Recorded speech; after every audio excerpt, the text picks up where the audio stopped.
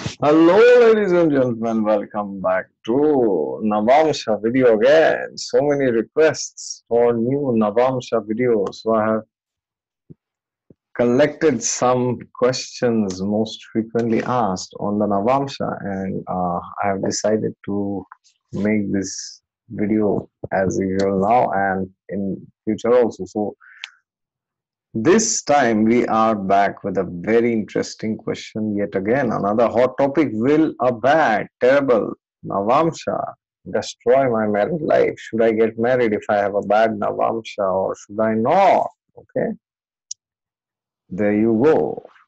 Long time back I had made this video. Is Navamsha my partner's chart? And many of you appreciated that video and even till now uh, it gets around three to four to five, sometimes even six, seven hundred views daily. I'm surprised. I didn't know that so many people are confused about Navamsha. Okay, if I had known this before, I would have made uh, this around one or two years back. But gradually, I have realized that so many people are horrified about this Navamsha versus D1 or D1 versus D9. Okay, so don't worry, we will uh, declutter everything and clear all the misconceptions pertaining to Navamsha. Okay, so if you have not watched that video, you will find the link somewhere down in the description. And today's video is on. So suppose you have a good D1, good. Uh, somebody told you it's good, or you assumed.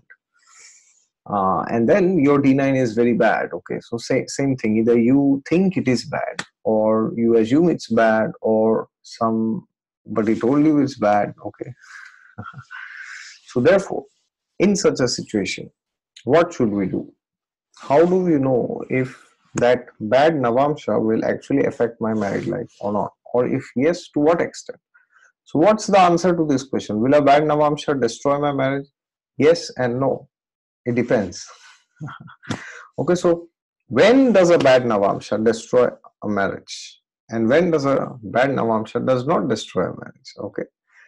If you're new to the channel then please subscribe to it below. And if you want a consultation the link to my website you will find down in the description section okay? What is there with you all the time? Just look to him and you will find him. And yes uh, i started with instagram also. So if you have not seen my page there you can go and type exotic underscore astrology okay and i also have my facebook page so you can like that page also exotic astrology. Therefore now let's go and discuss what is a bad marriage. So in that navamsha video which i had made i clearly said or was it in that video? Oh no after that i made another video. Will a good venus save a bad seventh house or a bad marriage? Something like so. In that i said very clearly that uh, what does it mean when you say you have a bad married life? It's not like saying, oh, my seventh lord is in debility, so my married life is bad. Or my Venus is afflicted or debilitated, my married life is bad. No, it's not like that. Very clear. How do you decide a person's married life? So, see, when you ask this question, how is my married life? You have to understand the person is asking for a minimum period. So let's assume a person gets married somewhere in India within 25 to 30. Let's assume he gets married at 30. Okay. And let's assume he will live till 60. He may live till 90 also, but let's assume he lives till 60. So he is asking for a 30 year period of his life. 30 years. And if he gets married at 25, and he stays till 75 how many years is it? 50 years my god. So it can range from 30 to 60 years the married life okay? Somebody may get married at 23 stay till 83 so he or she is asking for 60 freaking years of his or her life. So how do you decide what happens? Well very simple. You look at the dashas the dashas ultimately tell you what because the dashas will tell you the ups and downs within married life okay? So therefore the answer to this question apart from d9 we'll go to d9 but first the d9 part and the d1 stuff first. How do you know uh, if a person will have a bad married life? Well you have to analyze the dashas. So if you see the these five houses second fifth seventh ninth and 11th primarily second seventh and 11th are the houses of marriage. And then we also have 5 and 9 the trikonas which support marriage support dharma okay? So if you find that these four houses are prominently linked in the upcoming mahadashas for these 30 years then you know that the married life can be decent or it can be very good depending on how it is okay but suppose you see uh, primarily the sixth house very prominent. So suppose a planet is in sixth house. So let's take example of Saturn. Saturn is in sixth house. Let's take Saturn. Oh yeah, Saturn is a good example. Suppose Saturn is in sixth house and he runs Saturn Mahadasha. Okay. And let's say Mercury uh, is the lord of the sixth house. Then he runs 17 years of Mercury Mahadasha. Later, Saturn Mercury comes back to back so in that situation, and then suppose uh, he run, then he will run Ketu Mahadasha after Saturn, Mercury, there's Ketu, and suppose Ketu is again in the sixth house. So Saturn Ketu conjunction in Virgo. Let's example. And let's take this example. Okay. So for Aries, Aries ascendant, if that is the case, then uh, the those you calculate 19 years, 17 years plus Ketu Mahadasha, seven years. So it's a huge span of time that, so if suppose, let's say the Saturn Mahadasha started somewhere, the person got married in 25 or 28 and Saturn Mahadasha starts at 30. Then till 49 his Saturn Mahadasha will be there and then Mercury 17 years. So, so these three planets will consume his entire life, okay, I mean from a perspective of marriage. Now during Saturn situation will still be better why? Because Saturn is the lord of the 11th house also for Aries ascendant. Okay. So don't forget that. Take that into consideration. So this is an example where you see back to back the planets are not well placed because 6th house is the house which is 12 from the 7th. Okay. Now suppose there are planets, uh, this is a bad scenario. Which What is worse than this? Worse than this is if a planet is sitting in nakshatras of the sixth house or the sixth lord or of the planet in the sixth or the lord of the sixth. So let me give you an example for Aries ascendant. Who is the sixth lord? Mercury. So which nakshatras do Mercury rule? Mercury rules uh, Revati nakshatra, for example. Okay. Then he rules Aslesha. Then he rules Jeshta.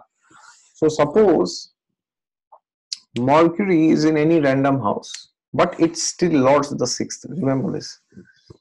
So then suppose you have Saturn, Saturn Mahadasha started and Saturn is sitting in Jeshta Nakshatra. That adds to the problem. Why? Because for Aries, Jeshta will be in the 8th house because Scorpio is the 8th house and Jeshta Nakshatra is in the sign of Scorpio. Remember that.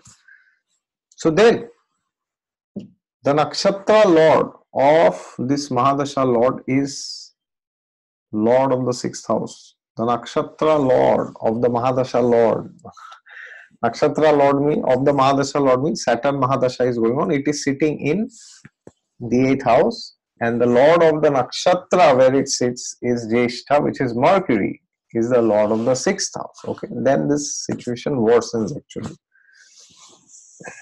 Or suppose a planet is sitting in a particular planet's nakshatra. So let's take the example. Suppose saturn is sitting in eighth house uh, in Vishakha Nakshatra, fourth pada of Vishakha, which falls in Scorpio.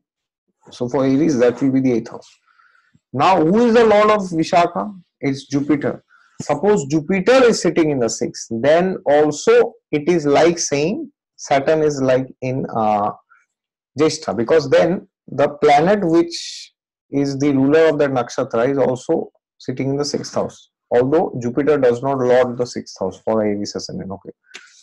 So in case number one, we saw Mercury was the lord of the sixth. So that then also it's a problem. And if Jupiter now as lord of Vishakha sits in the sixth, then also it's a problem. Now suppose Saturn is in Anuradha, then maybe it's not a very big problem because Anuradha is ruled by Saturn himself. Okay. And the lord of that nakshatra is sitting there in the eighth house. It's not sitting in the sixth actually. At least now the next thing is if the nakshatra lord or that um, yeah if the nakshatra lord is sitting in a dusthana generally so sixth house is a dusthana but even eighth or the 12th then also it adds gen in in a generic sense it adds trouble to your life.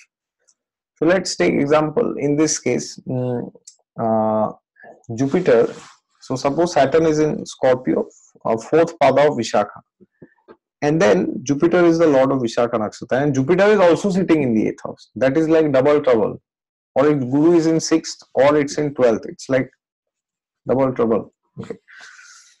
So this also adds to the problem. Okay. So suppose now, uh, let's take the example. Suppose Saturn was in sixth house.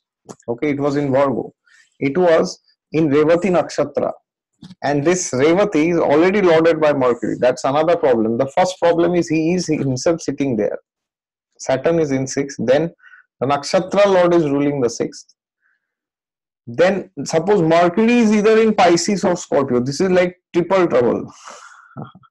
all right. So three levels of trouble I have given you. So why I'm telling you all this negative and pinching stuff because many times you will not analyze all these and you will bluntly make distinction. Oh my this married life is bad this is good. So it's not that easy. For for god's sakes stop thinking astrology is easy. It's not. Okay? So analyze it properly. I've given you three levels of trouble. Okay? So then you decide to what extent are these Mahadasha planets. So suppose uh, your Venus Mahadasha is starting, so then it becomes more complicated. Why? Because after Venus, the Mahadashas which you have, they are very short. Okay, so suppose you got married at 25 and at 30 your Venus Mahadasha starts. Okay, suppose Venus is in a particular place. So then till 50 because Venus is 20 years. Okay, then you have Venus. Then after Venus, you have Sun, which is only six years. Then you have Moon, which is 10 years. Then you have again Mars. Okay. So then the married life can be up and down more. Or if all all these four, uh, Venus, Sun, Moon, Mars are good, then the married life will uh, be very good. Or if all these are bad, then the married life may go down. Okay. Or if suppose Venus is good, then the married life will be good. Then if Sun is bad, then down. Moon good, Mars even good or better or worse okay. So therefore you have to understand that this is how you judge somebody's married life. And there are tens of other parameters which i can keep giving it to you. Giving you always but the thing is then you will become too much negative. You will start thinking all this. So so that's why let me limit this to here. So this is like first level second level third level. So three levels of disaster i have given okay. So this is only for your lagna chart first analyze all this.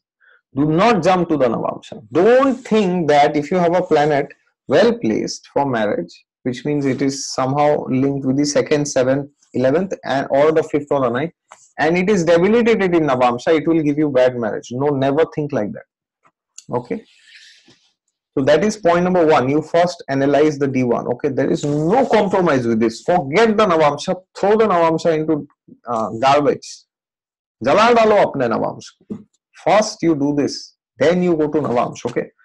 Don't use nawams as a hanky-panky, which means you don't know how to study a horoscope, which means you don't know how to study D1, you just know some basic uh, idiotic rules which are not actually true, which are not written in the classics basically. And then what you do?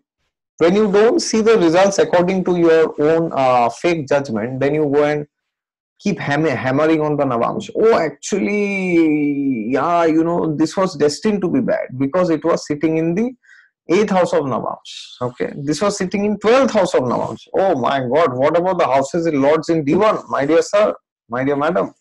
Please see the D1 first. Okay. So before getting into competition with uh, the Navamsha, don't ignore the D1. Okay? That's the problem. In youtube uh, people have forgotten that there is a lagna chart also. They think that you just check the divisional charts and then that's gone because everything happens physically ultimately okay? So anybody who ignores the d1 and goes to any other fancy divisional chart i don't give a damn. It's d1 uh, it's d2 d3 d5 d9 d20 d1000 or d million your predictions will fail 100% okay what, what to speak of predictions failing, you won't even be able to predict anything because you will just keep playing this hanky panky. So what you will think, oh, my Venus is here in D1, in D9 it's debilitated, D10 it's exalted. So what happens? Mm, confusing, right? so don't play this game of mixing out, cancelling out things, okay? Here, good, bad, good, bad, good, bad. Another thing in YouTube, very famous. This is there. Is it good, bad, good, bad, good, bad, good, bad? So after 20 years also, I have seen people. I know some people, they send me mails, they tell me that, oh, I'm learning from this great institution in New Delhi. I won't take name. India, capital of India, New Delhi, very big astrological institutes. And then then they ask me such questions. My seventh lord is in debility. What do you think will happen? I'm like, what have you learned for 20 years? This is what you have learned. Seventh lord in debility means bad marriage. No, it doesn't work like that. Okay, so learn things properly, not like this hanky panky. It's like you are throwing one thing here, this is exalted, this is debilitated, catch it, catch me, catch him, catch her. No, it doesn't work like that. so now you have analyzed all these parameters, hopefully, and many other parameters then you go to your Navamsha chart. Okay. Now, suppose let's take two scenarios. Your D1 is very good, okay, which means good means according to these factors, okay. And then you see that in your Navamsha there are some difficulties. So then what do you do? so there can be four scenarios good D1, bad D9, good D1, good D9, bad bad d1 bad d9 confusing. See all four scenarios. So good good good good bad bad bad bad. Or good bad bad good. All right. So now if the trines of both the navamsha and the lagna chart they are strong okay which means the trines which means the lagna lord fifth lord ninth lord and sun and moon these planets if they are strong in the navamsha and in the lagna chart then what happens? Then suppose you have a bad D1, then externally all these problems will be there. Okay, your spouse may not be cooperative. Suppose you have, as I gave the example, Saturn in sixth house uh, uh, in Revati Nakshatra. Okay, so uh, now Saturn is in sixth and Revati is lorded by Mercury, which is also the sixth lord, which is suppose in uh, eighth house let's take an example. So then it can happen. And suppose your trinal lords are very well placed. So then what can happen is you will see that maybe due to some reason you are not able to stay with your spouse physically. Okay which means which doesn't mean you divorce or you uh, stay separately but maybe you have to travel somewhere for your work or maybe your uh, husband or wife's parents have had some issues so they have to go and stay with them. You cannot stay together. So these kind of issues can come. Sixth house doesn't give divorce or breakup or separation. It gives physical separation also okay? But your trinal lords are well placed. That means uh, in the lagna chart uh, you are happy internally. So that means you are not fighting and quarreling 24 hours okay? Then that happens when the trinal lords are badly placed along with these difficult placements so now suppose uh, your Navamsha is uh, very bad. Okay, so very bad means uh, somehow the Lagna Lord is not very well placed. The Trinal Lords are not very good. Okay, so you judge the Nav Navamsha overall. So suppose your uh, Trinal Lords of your D1 they are very well placed, and then the uh, Navamsha is not very good. So then what does what happens? The Navamsha represents fruits from your past lives. So then what will happen? Even though you are happy, which means you are physically separated or you are staying somewhere, she is staying somewhere. But uh, because of this uh, Navamsha's difficult placements, it can be a bit difficult for you to maintain that situation. Which means it might happen that that physical separation can continue for a relatively longer period of time. Okay. But suppose the Navamsha is very good, then what will happen? Even though the physical separation is there you will be more happier inside okay? Now let's take the other scenario. You have uh, you have that sixth house prominent all these problems are there and your trinal lords are also badly placed of the lagna chart d1 okay? And sun and moon lagnesh these are not well placed. Then what will happen? You may quarrel or you may divorce or you may fight 24 hours. You may stay together but then uh, uh, you may be frustrated or you may indulge in affairs. These kind of things can happen if the fifth house involves. And now uh, case number three okay bad d1 bad d1 means already there are mar- marital issues but this time the trinal lords are also not well placed. And then you have uh, bad navamsha okay. Then you might get into depression and that is when your married life may suffer very badly okay? And now case number four when these marital issues are there in d1 and the trinal lords are also badly placed but the navamsha is very good. So then what happens is uh, because of the Navamsa's uh, grace or because of blessings of Lord Vishnu, even though things are very bad in the D1, okay, and even though you feel that you are getting into depression, but you will have some friend or some relative or some guru or some colleague with whom you can talk and discuss and you can be in a peaceful state of mind. Although you will you may be in depression you may fight you may be too much in anxiety you may have high blood pressure high insulin all these things may be there because of your married life.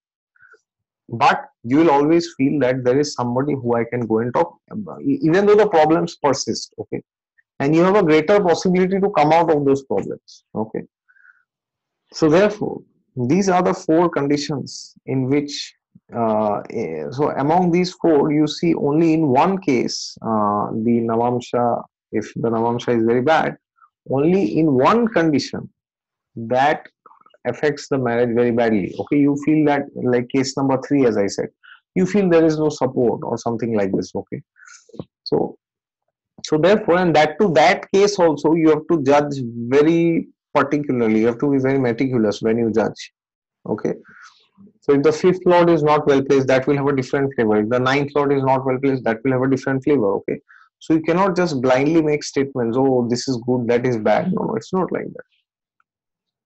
And therefore, uh, next time when you uh, want to know if the Navamsha will ruin your marriage, okay, just just just having a bad Navamsha doesn't do that. Okay. And even within the Navamsha, there can be so many different energies. So let let's talk with some examples suppose your uh, Venus in the Navamsha is well placed, it's in Libra or Taurus or Pisces. And then if your uh, trinal lords are not well placed, then what do you say? Is it a good Navamsha or a bad Navamsha? That's a very tricky question. The answer is this is a wrong question because now why did I ask this question? Because you you, you keep asking these questions. Okay, my uh, Lagna Lord of D1 is exalted, but my Venus is in debility. Okay. So here I am giving you the opposite scenario. Venus, the Atmakaraka for the Navamsha is in good dignity. It's either in Taurus, Libra, or um, Pisces, but your uh, so-called Lagnesh of the D9, Lagna Lord, suppose you are uh, Uh, Leo Lagna, okay, in D9, and then Sun is not well placed so then what happens? That will have a different flavor. And suppose your moon is not well placed, that will have a different flavor. Suppose you have the eighth lord in the Navamsha Lagna, that will have a different flavor. Okay. So before you even claim that my Navamsha is very bad, you have to analyze it properly. You have to know what's actually going on. Don't just whimsically make judgments that, oh, this is terrible, this is good, this is bad. No, you have to analyze the Navamsha properly after analyzing the D1. Okay? Don't throw the D, D1 out. If the D1 is not there, I don't know what level of madness is going on in this world. If the D, D1 is not there, if the D1 is not required, then I mean, it's like saying, my guru used to say, Oh, I am married in general. No, you cannot be married in general. You have to be married to one person. How can you say i'm just married no you you are married to a person right? So for god's sake don't throw the d1 out. I don't know. Everybody is doing this these days these days. When i do ma- marriage consultations i tell okay your dasha lord is here. There this will happen that will happen from the d1 and then they are like uh, but sir uh, so let me give an example. Suppose as i said saturn is in uh, sixth house okay for uh, aries ascendant in virgo suppose. And uh, that is saturn is in hasta nakshatra for example okay. So then suppose this ruler of hasta moon is again in 12th house okay. Moon is in pisces suppose. Moon is in revati and revati is again ruled by mercury which is the sixth lord here so it's like two, three, four, five times more the trouble. And one person I uh, did a reading, he had some similar placements like this. But what happened is this uh, this planet, which was in the sixth, that was uh, in the ninth house of Navamsha. Okay, and he heard that ninth house of the Navamsha shows luck, bhagya, fortune, and all this. तो भाग्य means asking what do mean by भाग्य? What is भाग्य? भाग्य भाग्य all the time भाग्य खुलेगा, भाग्य उदय, भाग्य ये हो गया, भाग्य डूब गया, भाग्य आ गए, ये हो गया मतलब व्हाट डू मीन बाय भाग्य? Do know what is the meaning of the भाग्य? भाग्य means everything should be good nice peaceful I should have lot of money so basically he things भाग्य means to become a millionaire basically you can do whatever you want buy whatever you want go to Europe go to USA you know have a trip go to Kullu Manali, do what you want whenever. It's like uh, that's not bhagya. bhagya means when you are connected to God. That is bhagya because the word bhagya comes from Bhagavan. That is bhagya. Okay. Bhagya means mercy, something which you get which you don't deserve. That is bhagya. It's not. This is not bhagya getting million. okay. So then then I said to him, no, sir, uh, may, maybe your mind, like maybe, a bit challenging in this coming Antardasa because these indications are there. And then he told me that, oh, sir, how are you saying like this? It seems you don't know any Jyotish. Huh? This planet is in ninth house of Navamsa. It is giving me bhagya. My, mera bhagya uday ho jayega. then I said, bhagya uday will happen, but it's not the way the you the way you think. Bhagyodaya. So I said your Bhagyodaya will happen because that planet is in Navamsa's ninth house. This torture of the marriage will make you very spiritual. And then he was like, "Oh, don't tell me like this. This is not Bhagyodaya. This is uh, this is bad. This is not nice. I want to become spiritual, but not like this." I said, "That's what I see." Okay, so just because a planet is in Navamsha's ninth house, it doesn't uh, grant you some uh, million dollars. Okay, your Bhagyodaya will not happen. It will happen, but not the way you think. Okay, so that experience will make you more spiritual. Okay, but then uh, all the words fall in deaf ears if because these people sometimes they see some videos in YouTube and then they will make some conception. Oh, blind rules. Ninth house means Bhagyodaya will happen. The moment a Navamsha Lagna's planet ninth house or the ninth lord gets activated, ooh, money will start flowing like anything. But what if that planet is a malefic? Uh, what if that planet, the ninth lord is in the eighth? What will happen? Loss of money can happen. All right. But loss of dharma can happen, not necessarily money. But these days everybody is just like every house they will think it's a monetary house. Okay third house gives you money. Yes there are artha houses. Second house sixth house tenth house and then there's the 11th house. But you cannot put attributes to every house like this. People do this i have seen. Okay. They will they will make every house about what they want. Okay. Anyways i can go on and on speaking but uh the point which I want to stress here is that before you judge the D1, D9, please judge the D1. And then before you make fancy conclusions about even your D9, analyze it very properly, okay? Without that, please don't get into conclusions, right? Because that can ruin your mental peace, even if it doesn't ruin your marriage. all right thank you very much for your patience and as usual if you are new to the channel then please subscribe to it below and if you want a consultation from me regarding your love romance married life relationships you can go to the website down in the description section. And yes god is there with you all the time. Just look to him and you will find him